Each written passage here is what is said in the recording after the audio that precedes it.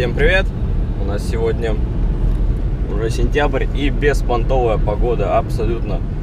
8 градусов, 8 градусов, это капец как холодно. Чуть не околел. Время 7.45. Для меня это почему-то рано выходить во из дома, потому что я привык выходить из дома, ну, часов в 9 обычно, хотя ребенок просыпается рано. Еду на заправку, еду на заправку, чтобы бензин заправить и ехать в Екатеринбург. Еду по большей степени за братом, с папой и вообще практически за компанию, потому что дела, которые у меня там должны были быть, они перенеслись. Мне нужно было ЭЦП мою в контуре продлить, но по некоторым обстоятельствам мне ее не надо стало продлевать.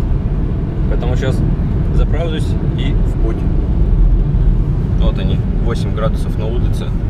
Но это еще не самое холодное, то, что могло быть. Самое холодное было, когда около 4 градусов было пару недель назад. Вот это да, там холодно. Это, а 8 еще потянет. Приехал в город. Только что-то у меня здоровье все хуже и хуже. Горло прям разговаривать. Вообще не могу особенно видеть по телефону, ничего не видеть. Иду сейчас в Промсвязьбанк, в свой банк, чтобы отдать просто бумажку. Потом возвращаюсь в Гринвич за машиной, потому что машина у меня там. На той дороге люди тоже снимают, но не себя, а вот кого-то там с микрофоном и с камерой. Не то, что моя камера GoPro. Учесть, что видел Савивы, шестой GoPro моя по сравнению с ней получается, ну, вообще старая, это третье, три поколения сменилось. Ну, прям бред. Иду, короче, обратно на метро и поеду в Гринвич за машиной. Вот так вот.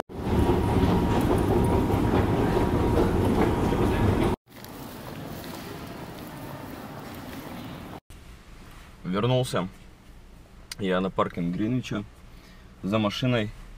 Удобно, в принципе, здесь оставлять машину, когда бесплатно сколько-то часов ты оставил, съездил на метро, на общественном транспорте, э, сходил покушать, вернулся, забрал машину. Замечательно.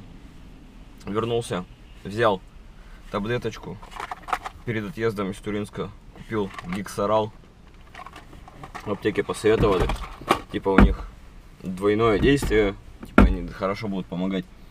Единственное, что они делают, сколько-то притупляют боль, потому что они содержат что-то там, по-моему, лидокаин или какое-то обезболивающее, которое, которым брызгают горло, когда вы э, идете на ФГС глотать вот эту лампочку, херню, короче, полная. И когда ем эту таблетку, автоматически рефлекс уже какой-то рвотный идет, как будто тебя сейчас засунут эту херню в желудок будут пихать. Я поехал за Тимой его забирать, потом забирать папу и выезжать в Туринск. Куда же еще? Домой надо возвращаться время, потому что уже третий час. Вот оно, офигенское место. Негора. Всем советую, кто, если не был, не питался там. Место прикольное. Что-то пока сижу, жду Тиму, да, в пробках простоял. Да пока ехал, вернее не ехал, шел, показывал вам, снимали какую-то передачу, ну какие-то новости, скорее всего, снимали. Говорил, что, что у них камера крутая. Подумал, может быть мне тоже камеру обновить, купить, заехать, пока есть время.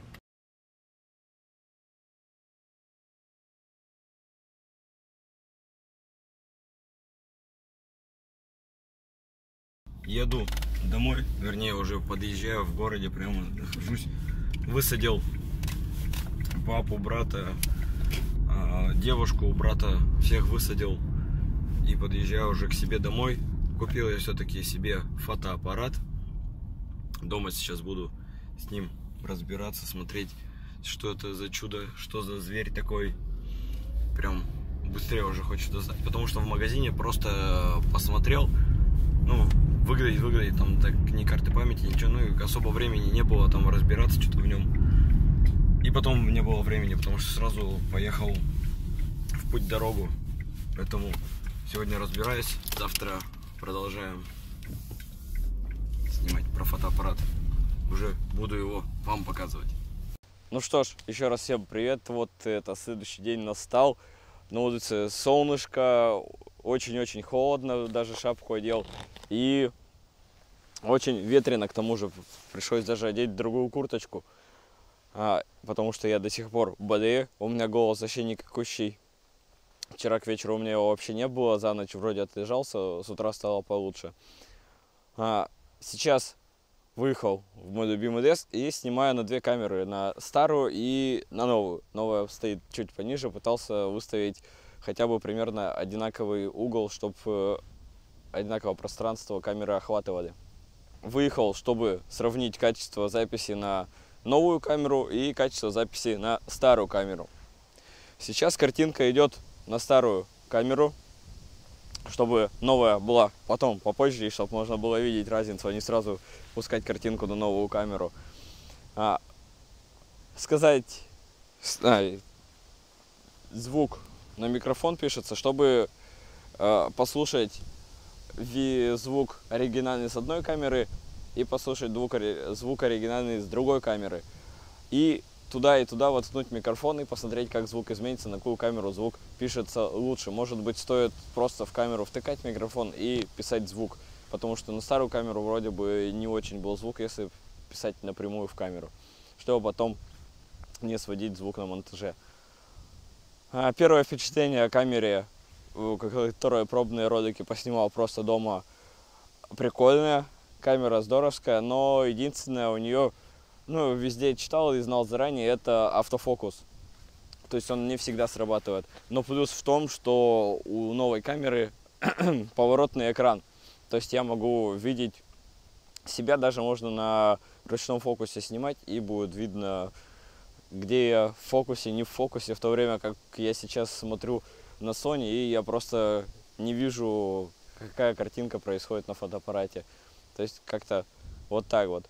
Еще по камере, конечно, это очень и очень непривычно, потому что была Sony, стал Panasonic, ну, не особо-то поменялась Sony, Panasonic, и, ну, блин, камера прикольная, она меньше по размеру этой. Разбираться с ней буду, потому что там куча всяких режимов, куча всяких настроек, и думаю, что я с этой камерой сдружусь. Sony пока остается у меня, в скором времени, надеюсь, она уйдет к другому владельцу. И весь парк объективов, ну, какой весь там два объектива, полтинник на старый фотоаппарат и 70-300. Вот, э, полтинник соневский 1.8 диафрагма, объектив хороший, 70-300 снимал редко, видео вообще не снимал, а фото, ну, редко это, то есть телеобъектив не всегда он годится, только если где-то птичек, бабочек поснимать, удаленные какие-то объекты. А, сейчас стоят китовые объективы на обоих фотоаппаратах, и на новую камеру придется докупать тоже свои объективы. Звук, ветер может быть сколько-то прикрывая сейчас рукой, звук будет без обработки, чтобы понять, то есть э, чистый звук, какой он в обеих камерах и с телефоном. Давайте, наверное, уже перейдем к новой камере. Вот она, новая камера. Сейчас я смотрю объектив новой камеры. И сейчас было бы, конечно, вернее, я и так делаю немного хитрю, пытаясь снимать в 4К. И будет downscale до 1080. А там снимаю 1080. То есть здесь такая немного хитринка. Точнее было бы смотреть э, в везде, в обоих камерах 1080p. Но так как я планирую снимать 1000, о, 4К и переводить его в 1080, поэтому сейчас поставил сразу 4К, чтобы посмотреть, э, как оно будет на даунскейле глядеться. А, то есть картинка, если смотреть в, объект, э, в экранчик камеры, вот я взгляд увожу на экранчик, я вижу себя, это такая тоже вообще такая вот так и смотрится, хочется посмотреть на экран, но это сразу видно, что я увожу глаз от камеры. А, чтобы видеть себя, и приходится напрягаться, чтобы смотреть в объектив и не поддаться соблазну смотреть в экран. А, короче, блин, камера прикольная, она даже стоит на штативе Panasonic, которую мне по чистой случайности дядя отдал, а ему дали его в подарок к прошлой камере. Причем к этой камере мне тоже дали подарок, это всего лишь э, сертификат на тысячу рублей. Но, тем не менее, я думаю, он мне пригодится. Давайте я переткну э, микрофоны туда-обратно, мы с вами послушаем звук, и я пойду, может быть, в машину сниму там, чтобы уже с нормальным звуком. То есть э, подробнее о камере. Сейчас я остановлюсь здесь. Перешел в машину, успел до того момента, как э, начал лить дождь. Потому что, ну, блин, дождь опять полил, и это вообще фигово. Мне не нравится только, что говорил, что хорошо, что без дождя. Нифига подобного. А, маленькая камера, маленький объектив, прямо совсем маленькая, если крышечки сравнивать вот старой камеры от китового объектива и от этой. Вот крышечки. Вот разница в крышечках. Это 46 миллиметров, это 55, да, 55 миллиметров диаметр крышек. И старая камера, вот она, собственно, передо мной, вот таким она размером, вот она лежит в руке. А, сделаю фотографию сравнительную двух камер и приложу ее в видео прямо сейчас. Главное, чтобы не забыл. Вот, и а, что хотел сказать по камере? А, хотел сказать то, что, во-первых, я слукавил, когда сделал такой кликбейт. Вроде бы это так называется, когда превьюшка у видео... Э, ну, превьюшка у видео вроде так называется. И, э, короче, на ней я сделал картинку с коробкой от Гаша 5. На самом деле это ни хера не Гаш 5. А, это Panasonic Lumix G7. То есть э, это бюджетная камера. Это даже не GX80, не G...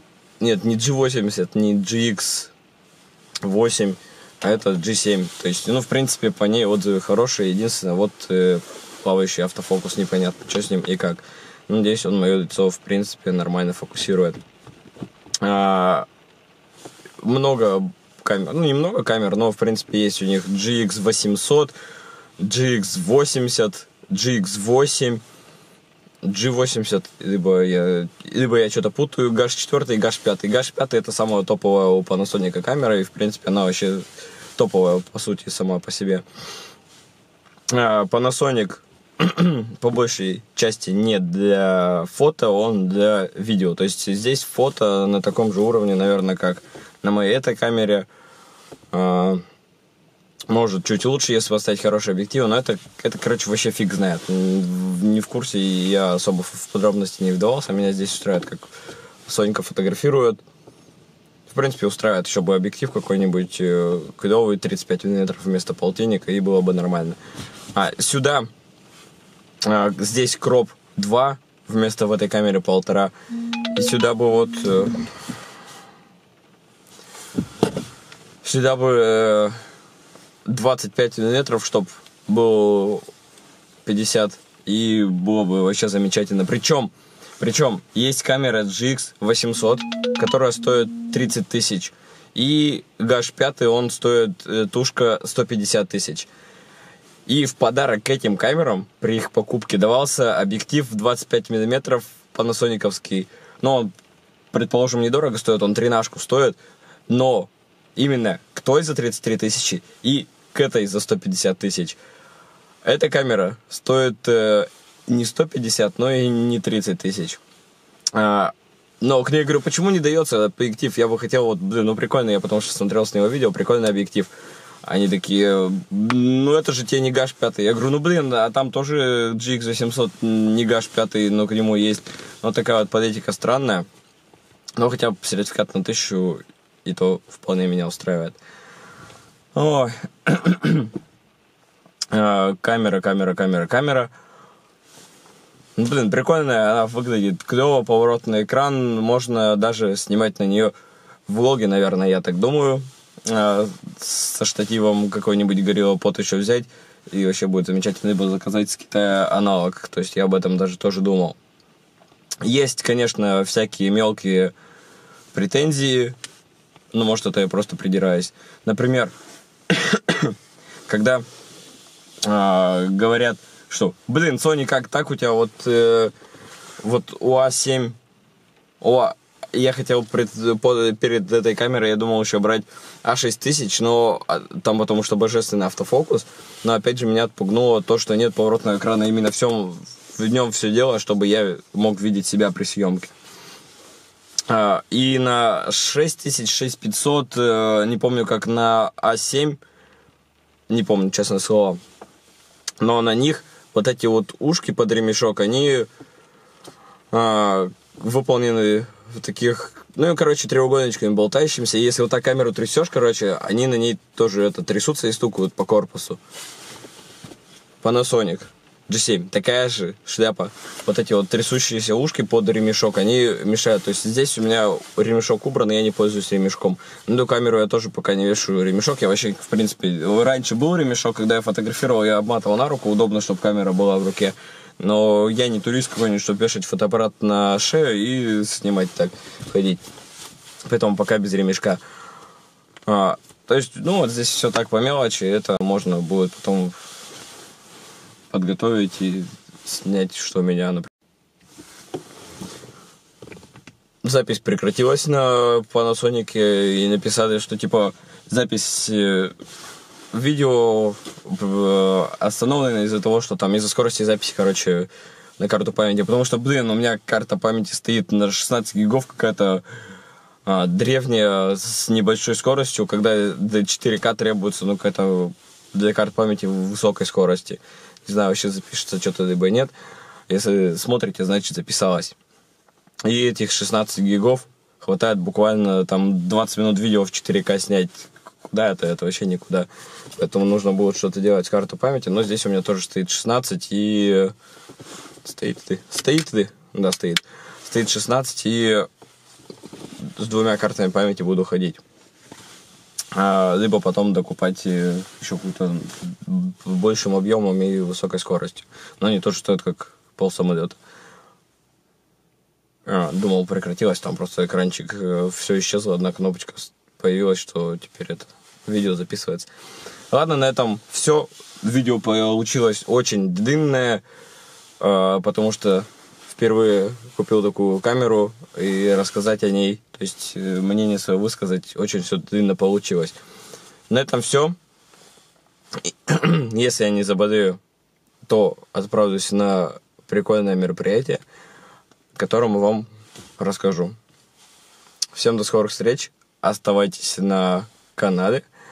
Подписывайтесь на новые видео, если вы не подписчик. И всем спасибо за просмотр. Всем пока.